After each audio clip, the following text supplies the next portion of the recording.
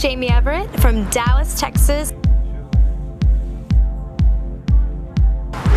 Growing up in Dallas was fabulous. Um, my favorite part of the year was hearing my dad downstairs with about 15 of his buddies and they're all arguing and yelling. They're playing fantasy football. My mom's cooking food. Football's golden in Texas.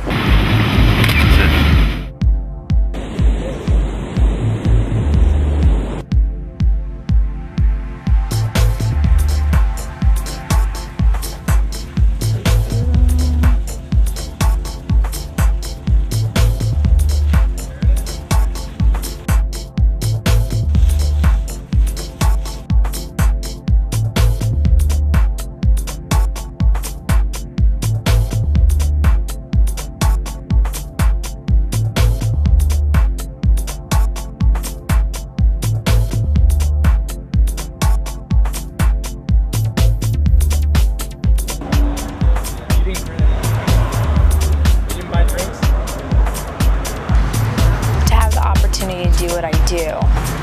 Um, some people think it's superficial, and it's not. I think anything you do in life, um, there's a way to, to, pay back and help out other people and just uh, pay it forward. I think um, I'm just, I feel very blessed.